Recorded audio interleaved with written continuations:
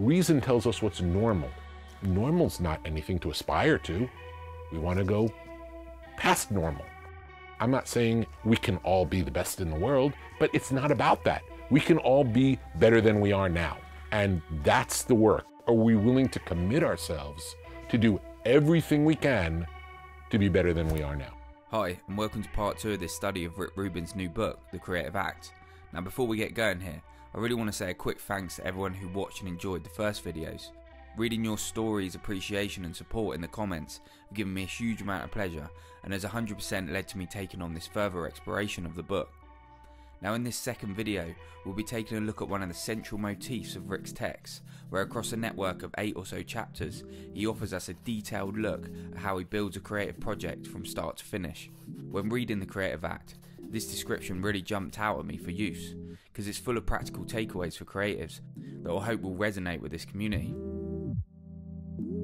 Now a quick note to say that even though I've tried to cover a large amount in this video, there's still a load more in the book left to discover, so if you have the resource and are interested, I definitely recommend picking up a copy for your own creative space. Additionally, I've also created a document with some further takeaways and links but in the process of making this video, so I'm writing a sister article with additional notes which I'll be posting out this week on the Inside Creative Minds newsletter.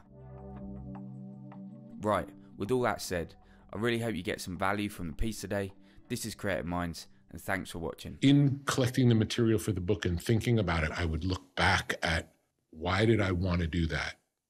And is there a, a principle at play that could be of use outside of this case?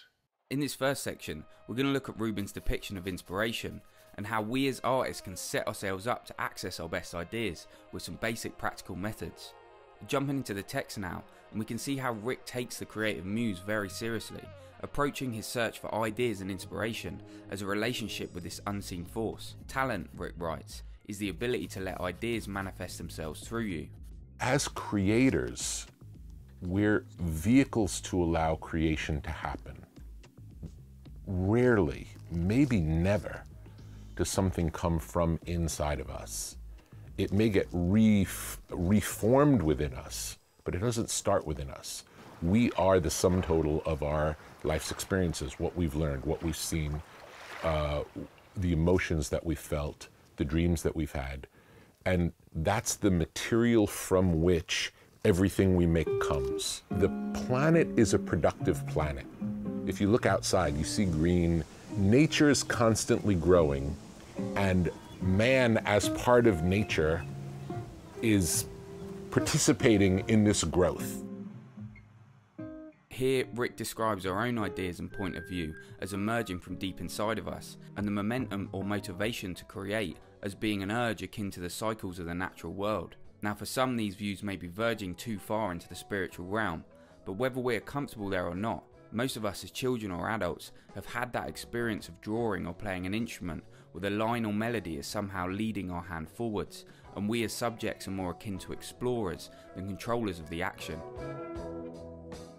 And to look at this idea further, I want to pull up an interview with writer and director David Lynch, an artist who has steeped himself in the discussion of inspiration and his dialogue with the creative spirit. Well, ladies and gentlemen, life change. We don't do anything without an idea. So they're beautiful gifts. And I always say you desiring an idea is like a bait on a hook. Yeah. It can pull them in. And if you catch an idea that you love, that's a beautiful, beautiful day. And you write that idea down so you won't forget it. And that idea that you caught might just be a fragment of the whole, whatever it is you're working on. But now you have even more bait. Thinking about that small fragment, that little fish, will bring in more. I like to think of it as in the other room, the puzzle is all together, but they keep flipping in just one piece at a time. Now, personally, I find this description of how we find our creative ideas can actually be very freeing for the artistic process. As creators, we are not forced so much to will ideas or inspiration as to create the correct conditions for that process to occur. But with that responsibility in mind, how best then can we intentionally create those moments? Well, to better develop an answer to that question, Let's start with a quote from Pulitzer and Nobel Prize winning author Toni Morrison.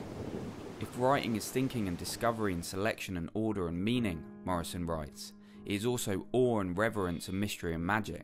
Here she clearly defines the two sides of the creative process that we've been discussing the unknowable side which the artist convenes with, and the formal processes that we might lead ourselves. Now, this tension between the freedom that we must allow for ideas and the practical structures that we must apply to access them is something I've encountered across many books and interviews about the creative process. On one hand, the art relies on us being open and free thinking, whilst on the other, it requires a kind of strict form, maintaining habits and routines that enable us to access inspiration and execute on our ideas. Good habits create good art, Rick writes. Consider establishing a consistent framework around your creative process it is often the case that the more set your personal regimen, the more freedom you have within that structure to express yourself. I would go down to my lovely little gazebo at the bottom of the garden, sit down, and I'm absolutely allowed not to do anything.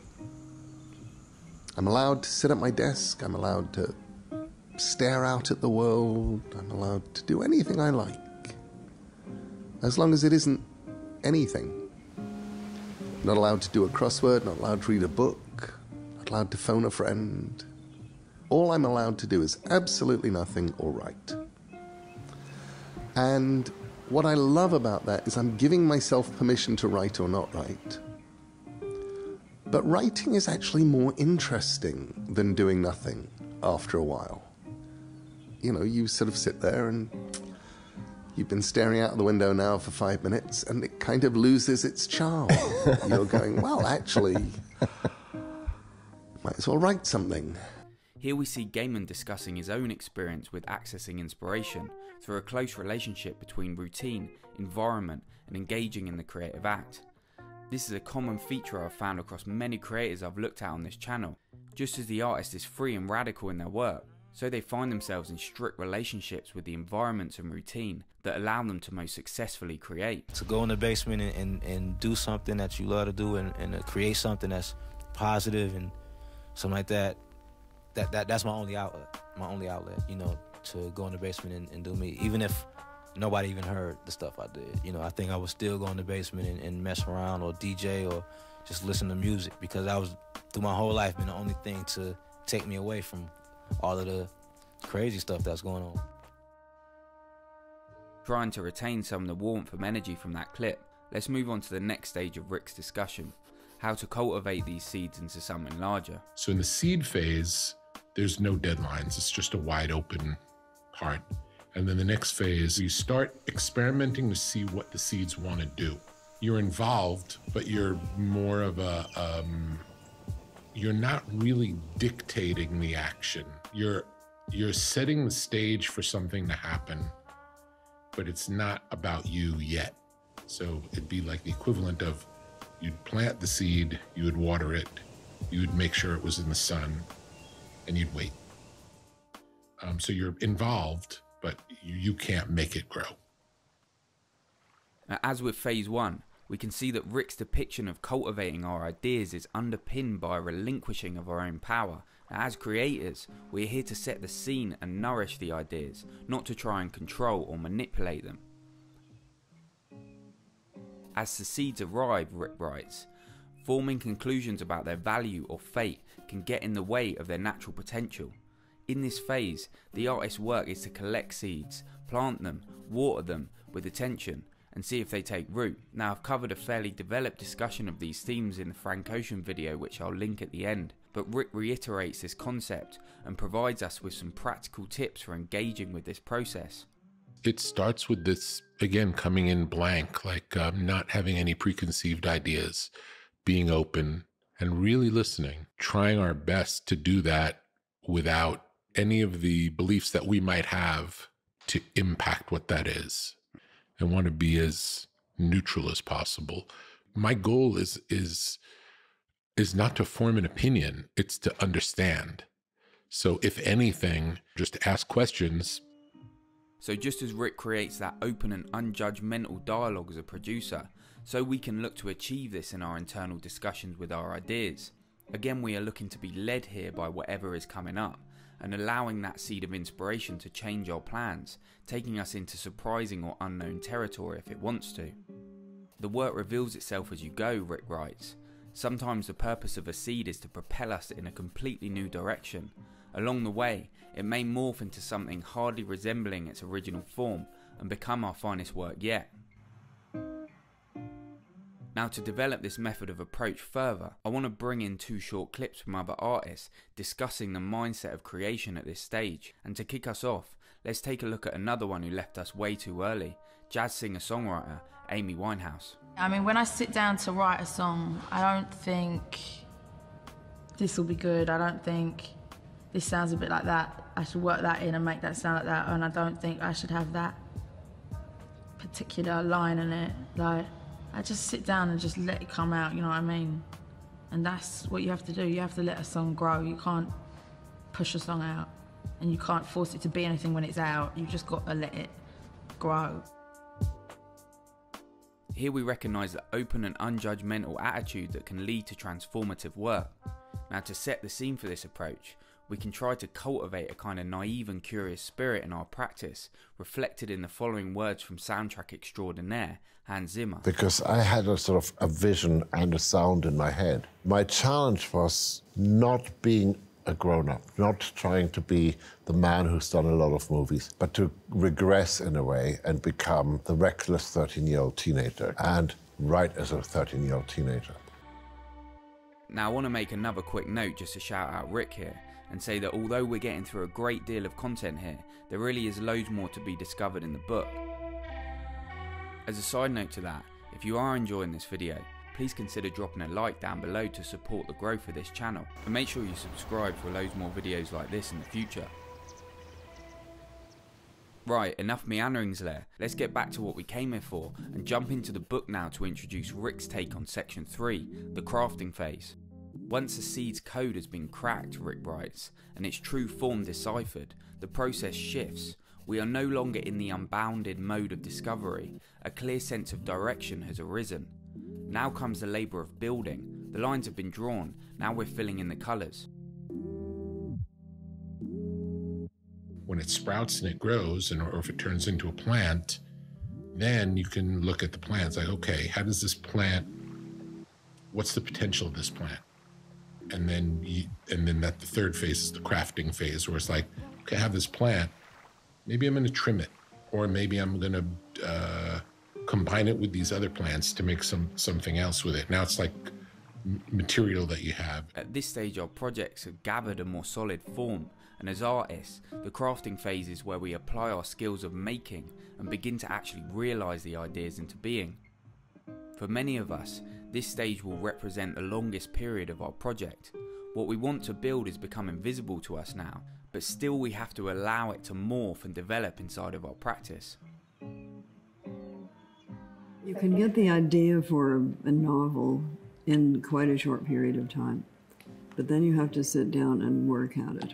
And while you're working it out, you often get um, more and different and new ideas and that can be a long process. It can take, you know, a year, two years um, to work out an idea that you might have had in five minutes. As Atwood describes, in the crafting phase, we are spending a lot of time with the work at hand, and it is only natural that possible changes and developments will be suggested to us as ideas are tested and the process moves forwards.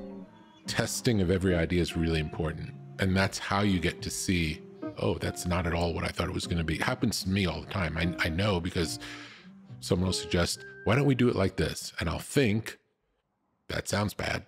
Mm-hmm. And then I'll think, okay, let's try it. And then we hear it. And then, you know, eight times out of 10, it's nothing like I imagined and great.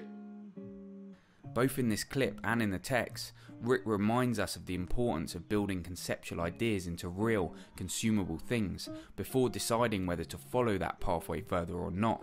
Again, we are pointed to the importance of remaining open to discovery through this process, keeping the project flexible enough to shift around and incorporate new ideas. When I'm with you, you make me blue. When I'm with you, baby girl, I'm blue.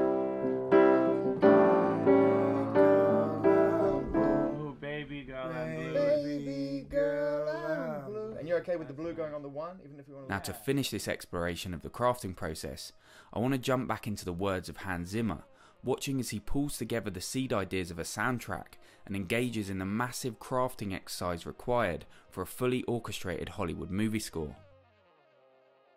So I had this framework of exotic, synthesized, or built instruments. I, remember saying to Tina Guo, my cellist, I, I want your cello to sound like a Tibetan war horn. PVC is your friend. PVC piping. I actually made a sub-contra bass duduk by putting this into a very long tube of PVC. I do things that not many people in the world can do. But then I told him, yes, yeah, I can do this. He said, can you do air? I said, yeah, I can do. But can you make vowels while you're doing the air in a flute? And go like, no, don't do this to me. And he's,